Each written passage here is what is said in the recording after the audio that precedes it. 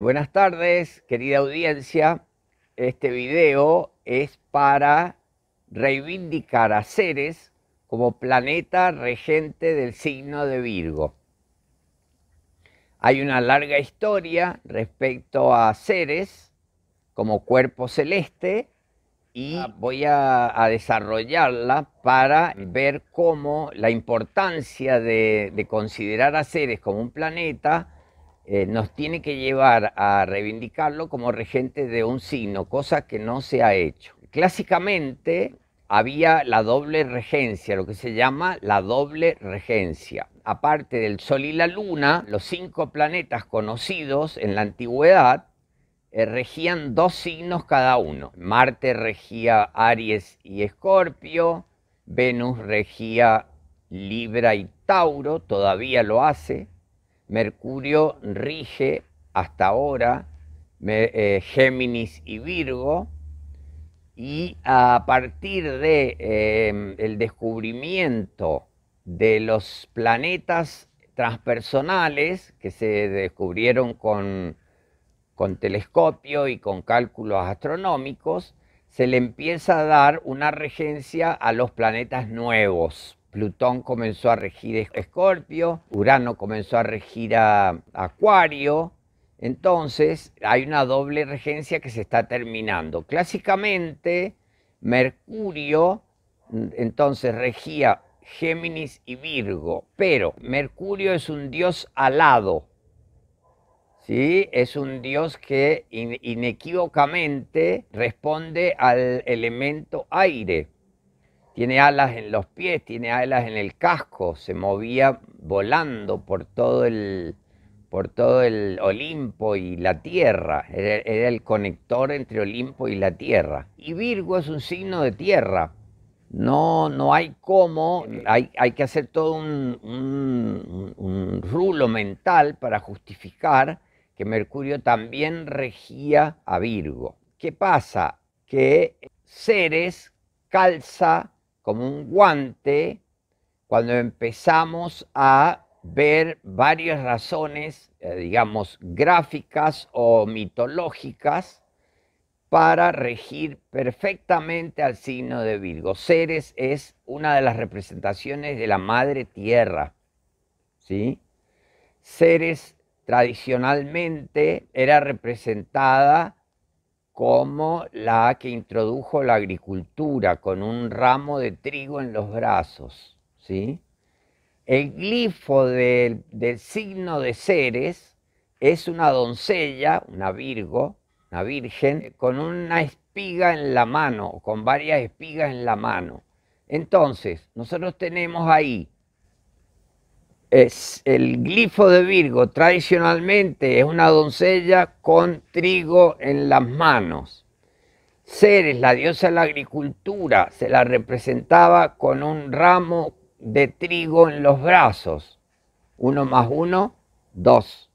Ahí empezamos a, ver cómo eh, este mito, y que lo vamos a escribir al planeta, Ceres, calza como un guante para describirle la regencia de este signo. Hay un movimiento entre los astrólogos de esta reivindicación, para reivindicar esta, esta, esta regencia, pero es lento. Somos pocos los que estamos haciendo esta, esta, esta campaña, que es importantísima para mí, y, eh, pero que ha ido en aumento año a año van siendo ganadas las voluntades o las, inteligencias para esta descripción. Voy a hacer una especie de historia del planeta Ceres, ¿sí? Para ver qué pasó, por qué todavía no se le ascribe la regencia de un signo. el planeta Ceres fue descubierto en 1801 por un astrónomo de Sicilia, y oh casualidad, Sicilia, la isla de Sicilia, era regida por la diosa Ceres. Por eso un poco le puso este nombre. ¿sí? ¿Qué pasa? Si los años siguientes, 1802, 3, 4, 5, se fueron descubriendo varios cuerpos celestes en la misma órbita de Ceres. Fue descubierto Palas, fue descubierto Vesta, fue descubierto Juno, ¿sí? y después cada vez muchos más.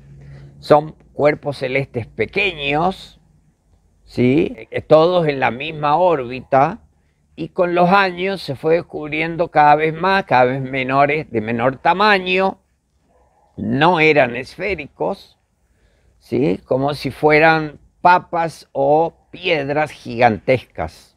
¿sí? Eh, Ceres tiene unos mil kilómetros de diámetro, pero es el mayor de todos. Los otros van disminuyendo de tamaño y ahora hay cientos de miles de asteroides, algunos muy pequeños, todos en la misma órbita. Como se iban descubriendo cada vez más eh, cuerpos celestes y ya no se les podía escribir como planetas, se les dio la denominación de asteroides. Asteroide significa forma de estrella. ¿Por qué? Porque eran muy brillantes, reflejaban mucho la luz solar. Y entre Marte y Júpiter hay un cinturón de asteroides. Siempre se lo reconoció como cinturón de asteroides, pero tienen la misma órbita. Pasa el tiempo y ya entre los astrólogos se lo consideró asteroide, a Ceres, hasta que en 2005 la Unión Astronómica Internacional la UIA, redefine los cuerpos celestes y a Ceres y a Plutón y a Sedna y a varios transplutonianos se les adscribe la categoría de planetas enanos. Entonces, a nosotros los astrólogos sabemos que Plutón tiene tanto poder ahora como antes y que es un planeta con el mismo estatus de Júpiter, de los más grandes, eh, a nivel arquetípico y energético, entonces eh, no, no cambió nada para los astrólogos. Pero ¿qué pasa? Ceres comenzó a ser planeta, no más asteroide. La definición de planeta, ¿no es cierto?, es que tiene que tener la forma esférica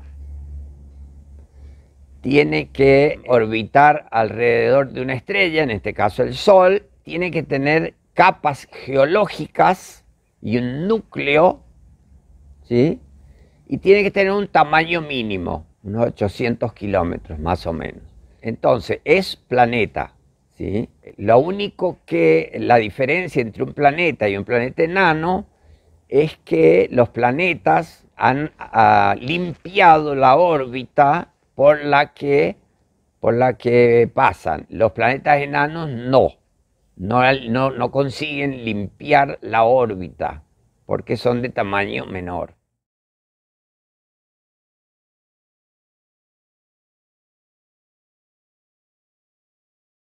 Eh, es, buena tu pregunta, porque mm, desde 2005 planeta, eh, Ceres es un planeta. Es, es, es esférico, cosa de muchísima importancia, alcanzar la forma esférica.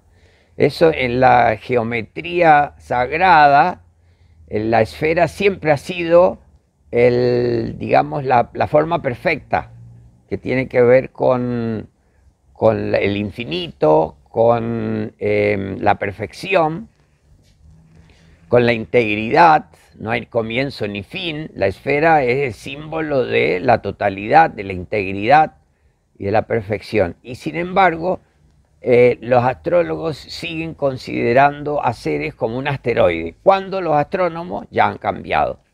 Yo creo, yo creo que es porque nos quedamos choqueados con esta nueva categoría de planeta enano y con que a Plutón se le rebajó de categoría. Y con este shock, eh, nadie se puso a pensar, y esta, esta charla es justamente para eso, de que Plutón fue rebajado, pero Ceres fue ascendido a la categoría de planeta. Es decir, justamente para esto es esta charla. Eh, Ceres es un planeta esférico, el único, el único cuerpo esférico en el cinturón de asteroides de los cientos de miles, creo que hay millones de asteroides, es el único esférico. Eh, y esto fue posible de definir porque a final del, del siglo XX se empezaron a sacar fotografías de los asteroides y se comprobó que el único esférico es Ceres. Hecho de suma importancia para la descripción de Ceres como planeta y como planeta regente de un signo es la famosa ley de Titius-Bode. Esta ley astronómica, matemática y astronómica tampoco es muy conocida entre los astrólogos. Fue una ley descubierta en 1760 por ahí por un astrónomo alemán, Titius, y después tomada por otro astrónomo alemán muy conocido, famoso, tal vez el mejor astrónomo de, mm, Alemania en esa época, que se llamaba Bode, y Bode no, no hizo referencia de que no era de él la tomó como que era de él y la difundió. Como la difundió tanto, se la conoce hoy como la ley de Titius Bode. Es una ley em, eh, matemática, eh, eh, digamos, que parece una puramente empírica, ¿sí? que se refiere a una fórmula A igual a n más 4 sobre 10, dividido 10. Es una ley realmente curiosa que establece una orden de números, ¿sí? a esta orden de números eh, 0, 3, 6, 12, 24, 48, etc., se le suma 4 y queda 4, 7, 10, 16, 28, 52, etc. A esto se lo divide por 10 y queda eh, 0, 4, 0, 7, 1, 1,6, 2,8, etcétera que son unidades astronómicas y increíblemente y curiosamente describen exactamente la distancia de los planetas al Sol. Establece una progresión eh, exacta de las distancias en, en unidades astronómicas, de las distancias de dónde tiene que haber órbitas de planetas eh, en un sistema estelar, en este caso el Sol. Eh, esta ley eh, establecía que entre Marte y Júpiter debía haber un planeta, porque había la, la relación numérica establecía que ahí debería haber una órbita y no había, no se había descubierto ningún planeta. O casualidad, eh, primero se descubre a Urano, 1780 y algo, y Urano, que era más allá de, Saturno, em, encajaba directamente em, eh, eh, exactamente en una órbita prevista por la ley de Titius-Bode. La empezó a confirmar. El descubrimiento de Urano comenzó a confirmar la exactitud matemática, astronómica de esta ley. Eh, se pusieron a buscar un planeta, varios astrónomos, después del descubrimiento de Urano y de que la ley realmente eh, era válida, se pusieron a buscar entre Marte y Júpiter eh, eh, un planeta, porque ahí debía haber, estaba establecido una órbita. Y ahí fue cuando se descubrió a Ceres. Se descubrió a Ceres que encajaba perfectamente en la previsión de la ley de Titius Body. Ceres estaba exactamente en la, en la distancia predicha entre Marte y Júpiter. Pero ¿qué pasó? Que em, también se empezó a descubrir todos los otros asteroides, entonces el cinturón de asteroides es el que encaja en la, actualmente, en la ley de Titius-Bode. Em, pero bueno, ahora con la reivindicación de que es un planeta y que no es un asteroide y que cumple la órbita predicha por la ley, es, es increíble que los astrólogos no se den por enterados de esta predicción tan exacta, ¿no es cierto?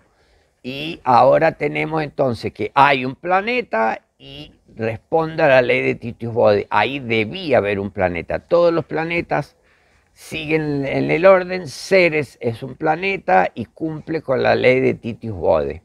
Esto es de una importancia capital, ¿no es cierto? Después fue descubierto Neptuno, después fue descubierto Plutón y luego fue descubierto Sedna y otros transplutonianos. Eh, misteriosamente Neptuno no encaja en la ley de Titius Bode, pero Plutón y Sedna sí. Pero bueno, eh, eh, esta ley entonces, que tan importante que para algunos es como una curiosidad matemática, por supuesto sabemos nosotros los astrólogos que tiene que tener un significado y que debe ser eh, revista, ¿no es cierto? Y llevada en cuenta. Y esto no lo han hecho los astrólogos. Los astrónomos lo tienen como una especie de curiosidad empírica. ¿sabes? Em, yo la reivindico de la mayor importancia para poder eh, estudiarla y llevarla en cuenta. Y también quiero informar a la, a la comunidad astrológica que hay dos físicos de punta muy importantes, muy serios, son astrofísicos de nivel de premio Nobel, que sí la han llevado en cuenta, que sí la han estudiado y que sí la reivindican de una importancia capital. son franceses los dos, uno se llama Jean-Pierre Garnier Mallet y el otro se llama Laurent Notal. Laurent Notal. Em, Jean-Pierre Garnier Mallet eh, ha estudiado esta ley al detalle, ¿sí?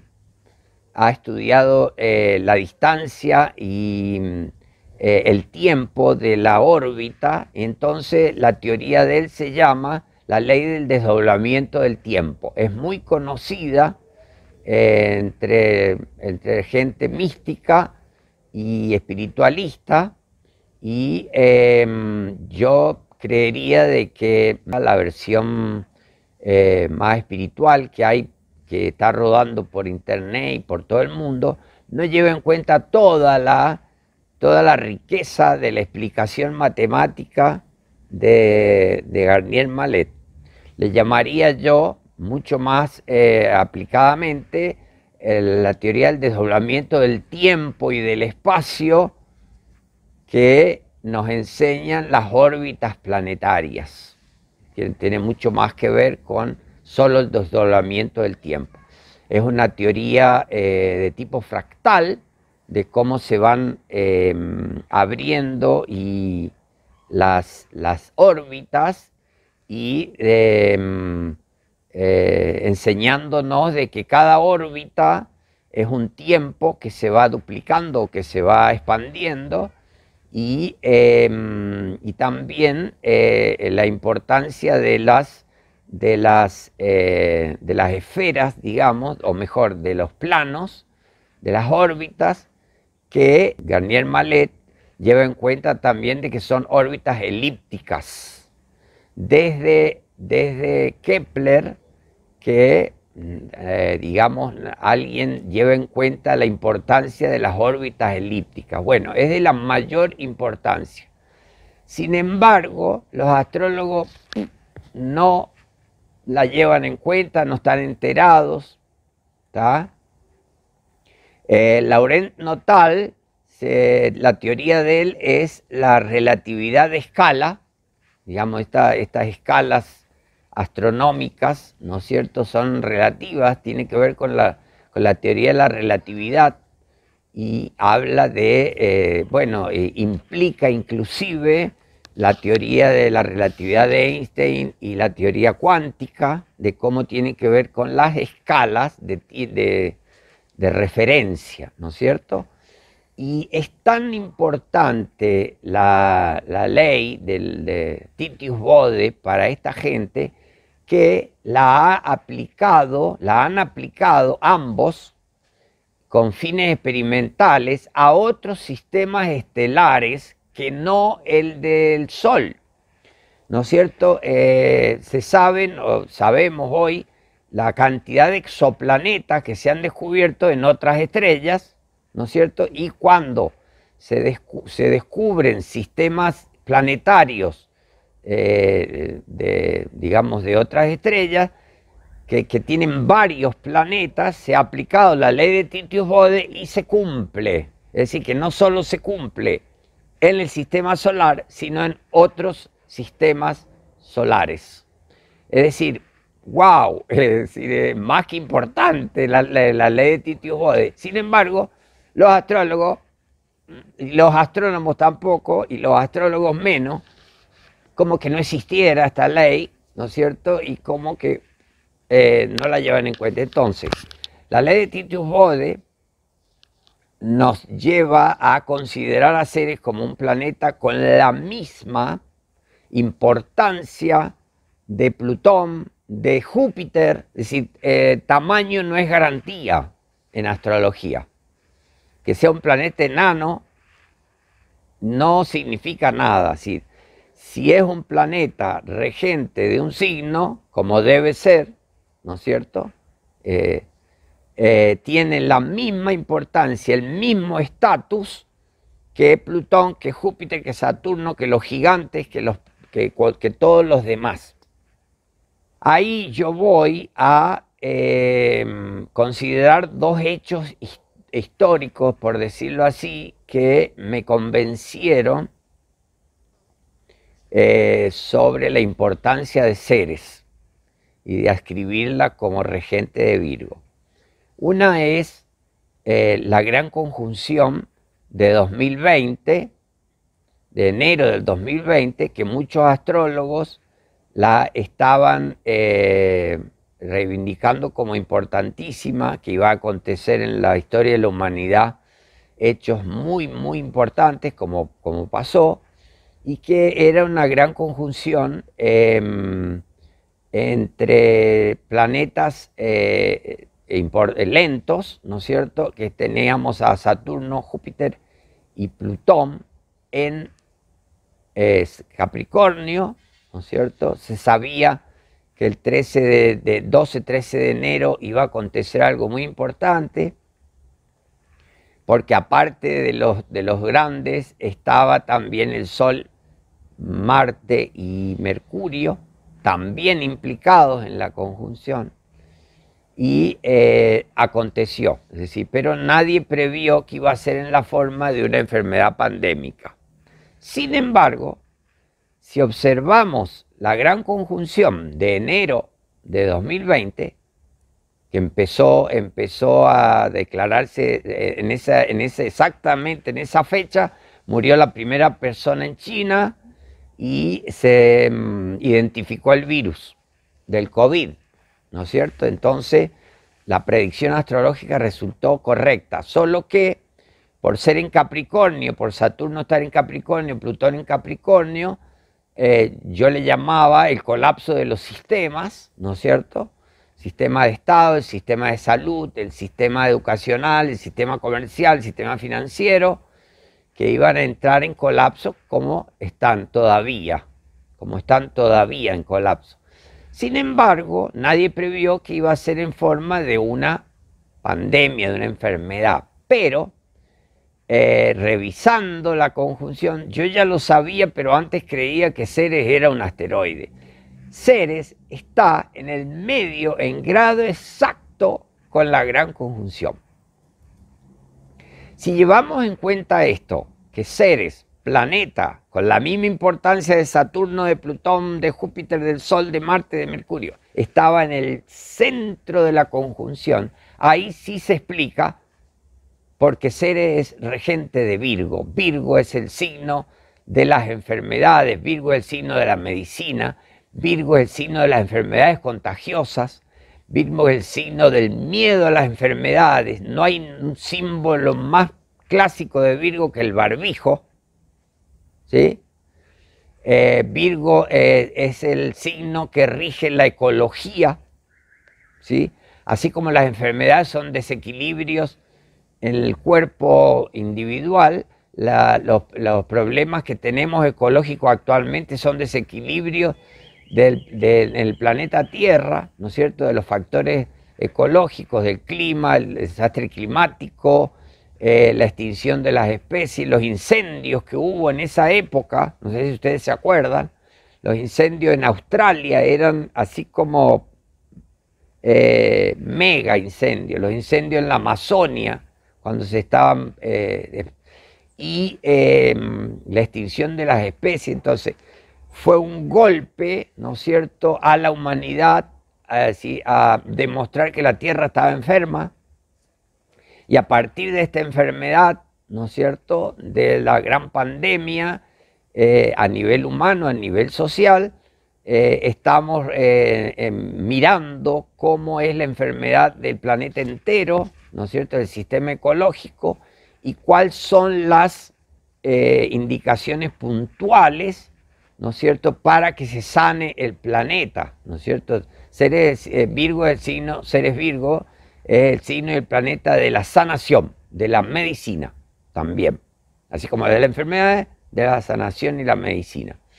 Eh, hay algo increíble de que si no, si no se cambian los factores industriales, de superexplotación del sistema de, consumo masivo y todo lo demás de, los, de los combustibles fósiles, la Tierra no se va a curar, eh, los virus no van a salir de, de, porque se necesita transformación profunda.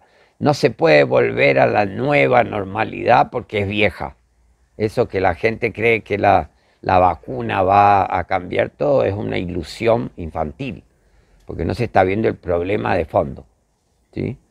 Eh, pero una de las cosas de, los, de los dedos indicadores de la pandemia es que se da en las grandes ciudades. Este es otro de los desequilibrios ecológicos. Las grandes, las megalópolis, ¿no es cierto?, son las que más están sufriendo. Y ese es un dedo ahí apuntado de que si no cambia eso, no va a cambiar nada, ¿no es cierto? Eh, yo llamo la atención, por ejemplo, de, en África, que la pandemia no se ha del virus de COVID no se ha difundido. ¿Por qué? Porque en África no hay grandes ciudades. Solo da en California, Nueva York, Río, San Pablo, Buenos Aires, eh, Madrid, eh, París, Londres, es donde da la pandemia, las grandes ciudades megalópolis, ¿no es cierto? Uno de los factores que se descubrió hace, un tiempo ya, que se está confirmando, es que el COVID ataca mucho más a personas con sangre de tipo A.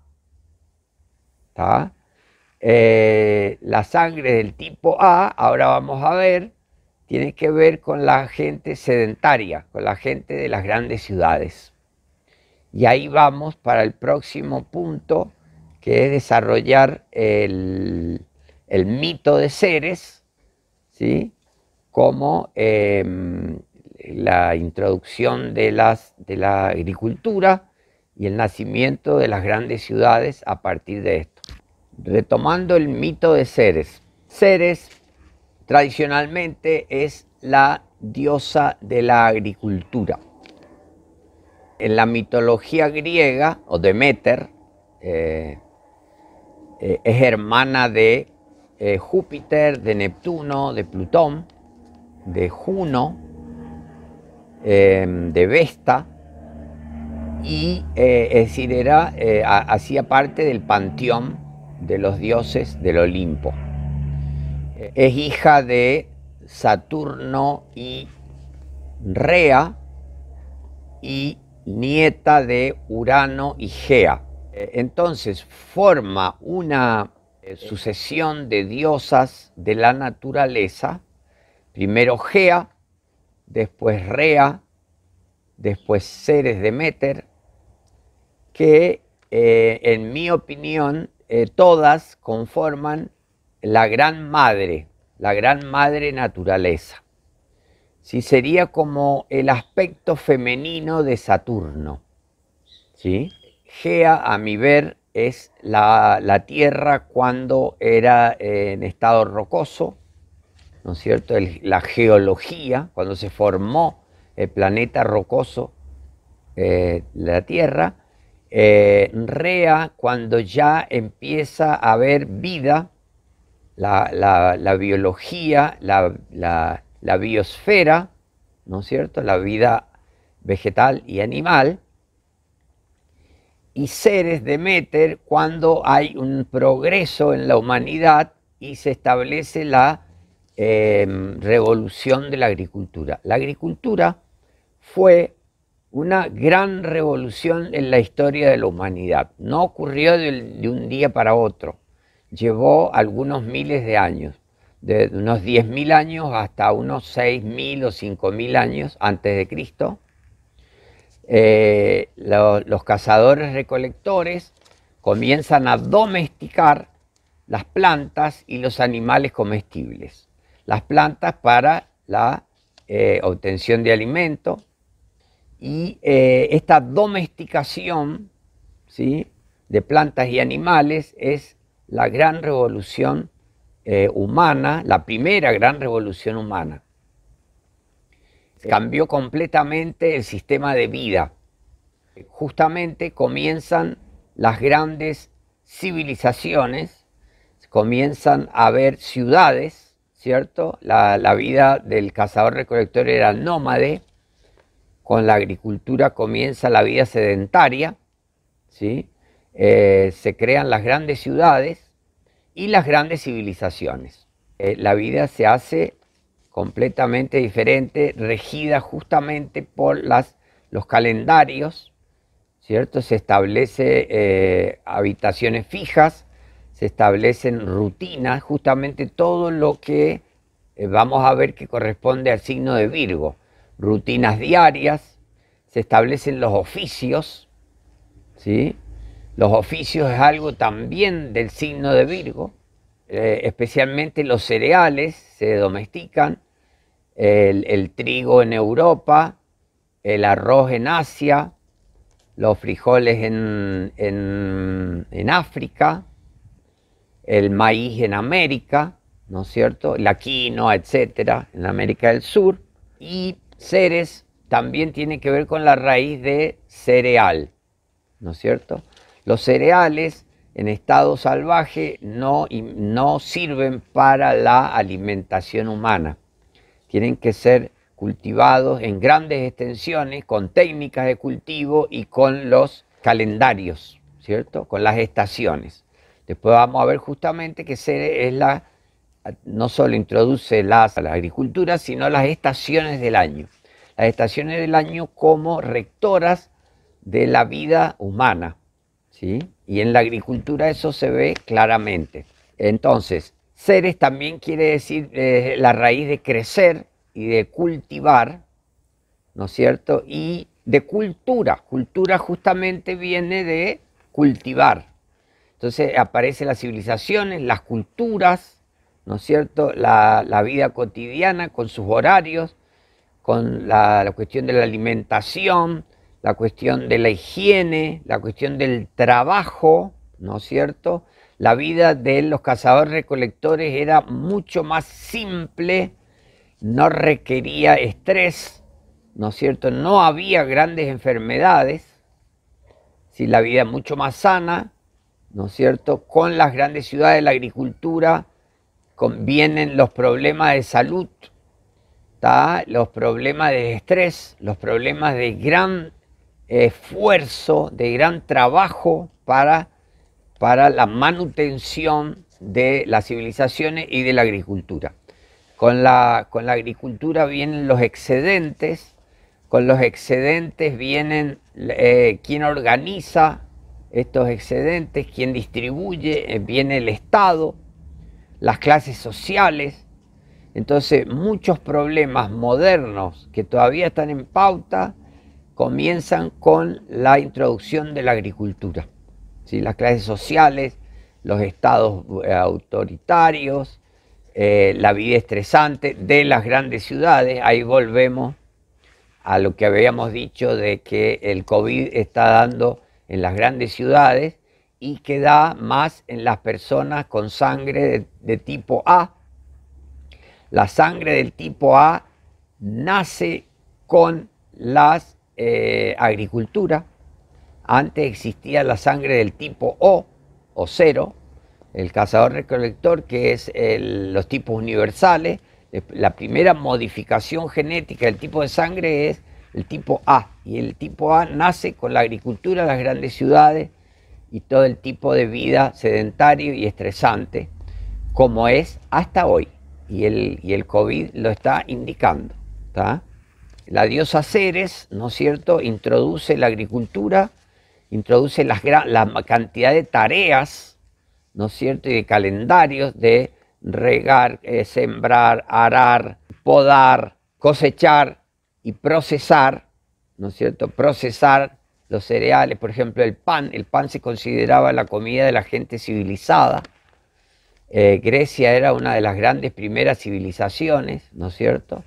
Y ahí tenemos el mito de Ceres, la que procesa el pan, también enseña las técnicas de procesamiento de la leche, para el queso, el yogur, el procesamiento de las olivas, del, eh, que es el, el, aceite de oliva, el procesamiento de la uva, para el vino, vienen todas estas eh, tareas con la cosecha, justamente la cosecha es un momento bien virginiano, ¿no es cierto?, que es el fin del verano, allá en el hemisferio norte, y eh, el signo de Virgo es el signo de la cosecha y el procesamiento de, de, los cereales, ¿no es cierto?, recogidos.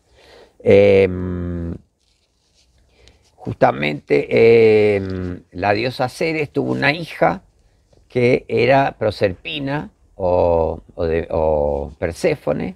Esta fue raptada por eh, Plutón, por Hades, y eh, la diosa Ceres se vio tan conmovida por, este, por esta desaparición de su hija que justamente le gustaba la primavera y recogía flores y el desfloramiento, ¿no es cierto?, es, como parte del, mito de su hija, de, Perséfone, y eh, desaparece su hija y Ceres entra en crisis, eh, llora y, no para de buscarla y abandona las tareas de la, naturaleza.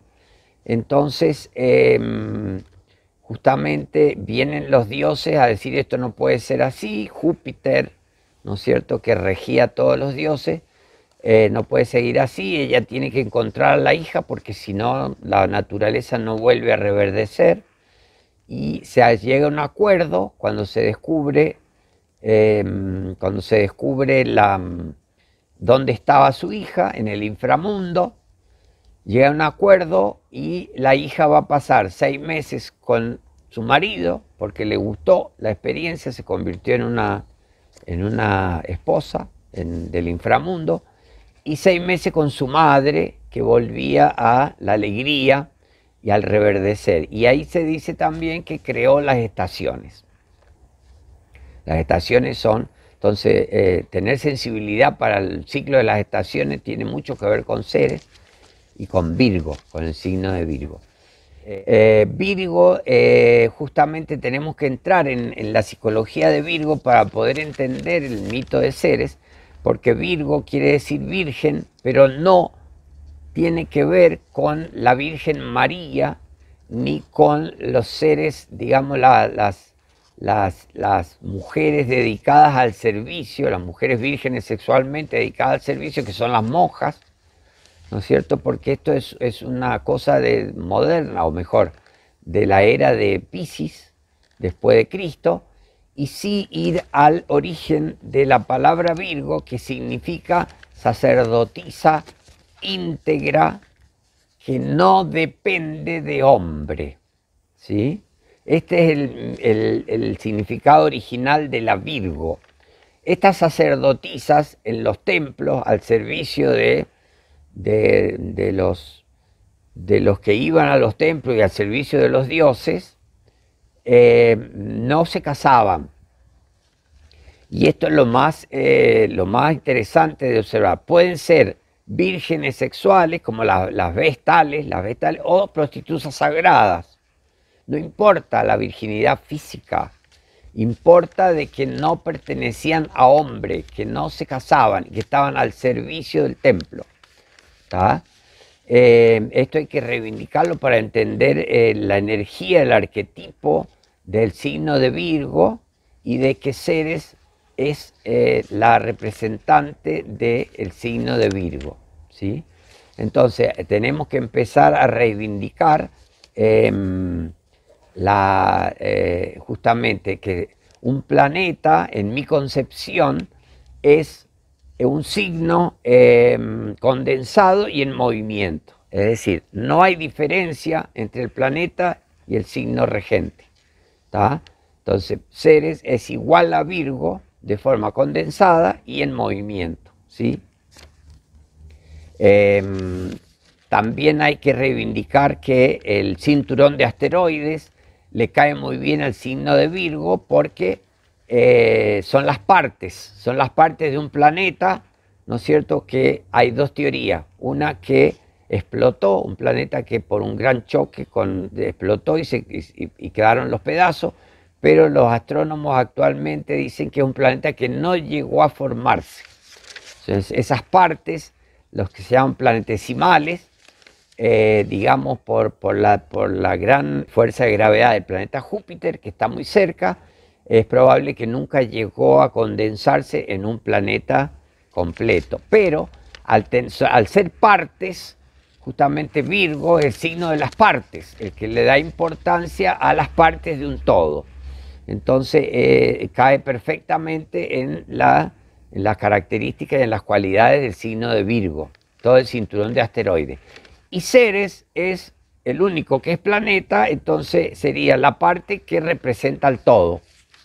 Justamente es una parte, pero es, es esférico, es planeta y representa a todos los demás asteroides, que por su cuenta, que los mayores son todas también virgos, son todas también eh, sacerdotisas, sea Palas Atenea, sea Vesta, son todas mujeres y son todas eh, independientes de hombres. La única que no es Juno, eh, pero también tenía su vida, eh, digamos, este, independiente de su marido. Y eh, Igia, otra de las de, los asteroides, es el asteroide de la higiene, que es otro de los valores de Virgo. Em, entonces tenemos que describir un montón de, de, características del signo de Virgo que va a ser en, en otro eh, en otro trabajo, ¿no es cierto?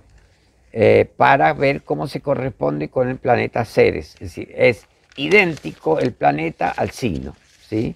Ahí tenemos que recordar el, orden, em, la función, el servicio, ¿no es cierto? El puntillismo, el buen acabamiento, esa ansiedad de, de hacer las cosas bien, ¿no es cierto?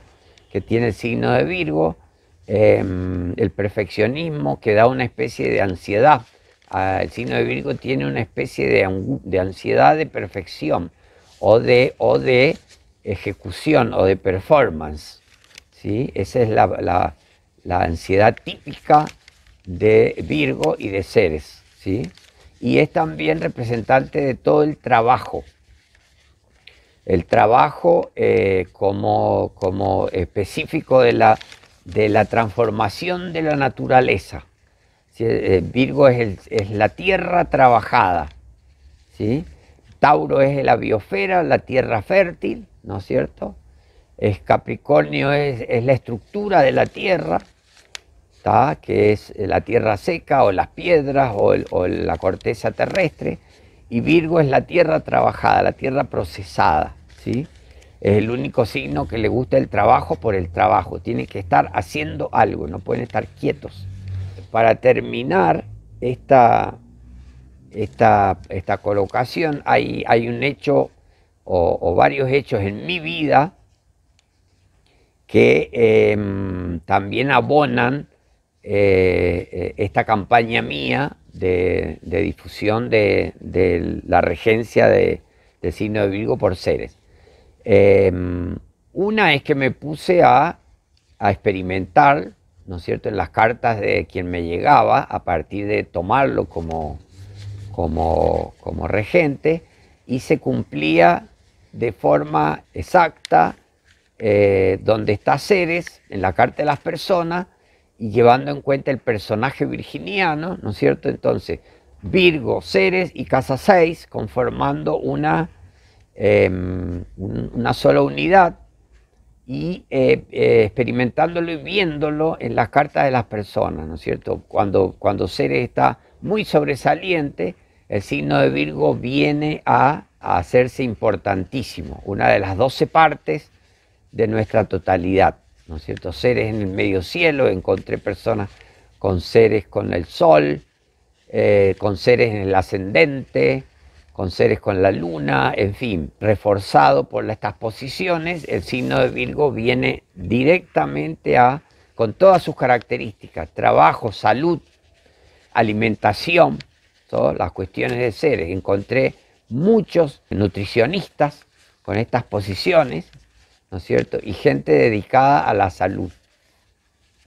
Y eh, justamente otra de las grandes eh, comprobaciones en directo es que yo descubrí cuando, justamente cuando empiezo a tomar a seres como un planeta y no como un asteroide, cómo el signo de Virgo estaba fuerte en mi carta, porque yo tengo una conjunción eh, Sol-Neptuno de nacimiento, ¿no es cierto? Siempre me consideré pisciano, pero o eh, casualidad y sincronía, también tengo a seres conjunto exacto al Sol y Neptuno. Entonces empecé a entender muchas cosas de mi vida. Por ejemplo, cómo fui, eh, de la cuestión alimentación, la cuestión nutrición ha sido importantísima desde niño, aparte de mis aspectos taurinos, que son muchos, la experimentación que siempre he tenido con regímenes, hasta encontrar el propio. Esto está desarrollado en mi trabajo de mi blog, ¿cierto? De sobre seres, sobre la búsqueda de... Hay un video que he subido hace poco con el trabajo que es hambre y ayuno o, eh, o la alimentación y espiritualidad y ahí desarrollo en detalle todos mis experimentos y todas mis conclusiones. Y también como el tema de la salud ha sido central en mi vida. Desde niño me he conectado con esto. De niño leía revistas de salud de mi abuelo. Viva 100 años, tenía una colección en el sótano. Yo encantado con todos estos temas. De hace 40 años practico la homeopatía, he estudiado homeopatía, ¿no es cierto? Eh, soy, soy, soy radical en esto, en, en, el cuidado de mi salud, llegando a la hipocondría, obvio también es uno de, las, de los temas de Virgo, porque Virgo es, eh, en mi concepción, que, lo voy a desarrollar más, es el signo de la interocepción. Así como, así como Tauro es el signo de, de, los órganos de los sentidos hacia, el, hacia afuera, Virgo son los órganos de los sentidos desde el interior, desde los órganos desde, los órganos internos. La interocepción y la propiocepción son regidos por este signo planeta. Entonces, de ahí viene también esta tendencia a la hipocondría, ¿no es cierto? Al miedo a las enfermedades o a la hipersensibilidad a los estímulos interiores y el dedicarse a, la sanación o, a o a la cura, ¿no es cierto? Todas las profesiones de la sanación tienen algo que ver con Virgo Ceres, sea eh, la medicina tradicional, sea la medicina alternativa, eh, sea el nutricionismo, sea la homeopatía, eh, y esto ha sido central en mi vida, siempre, y ahora me cierra porque veo que tengo a Ceres junto con el Sol y junto con Neptuno.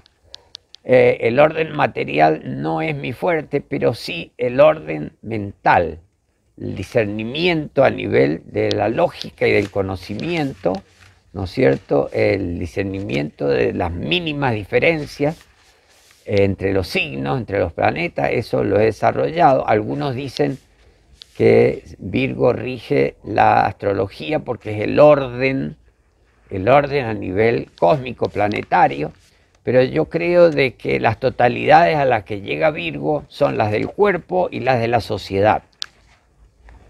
Si ya nos vamos a la totalidad más planetaria o cósmica, para mí es la unión de Virgo con Pisces. Esto también lo voy a desarrollar en trabajos eh, eh, escritos en mi blog. Eh, bueno, creo que me han quedado muchas cosas y es probable de que las complete en el trabajo, en el trabajo escrito. Invito a la audiencia a descubrir dónde tienen ser en sus cartas natales y a los astrólogos a practicar llevando en cuenta esta regencia y a, confirmarlo o no, porque esto es una cuestión de confirmación científica. Acuérdense que Virgo es el signo de la ciencia experimental. Los experimentos tienen que ver con Virgo. Entonces, vamos a experimentar, vamos a probar. No hay ninguna obligación de creer. Es una cuestión de experimento de, de una hipótesis.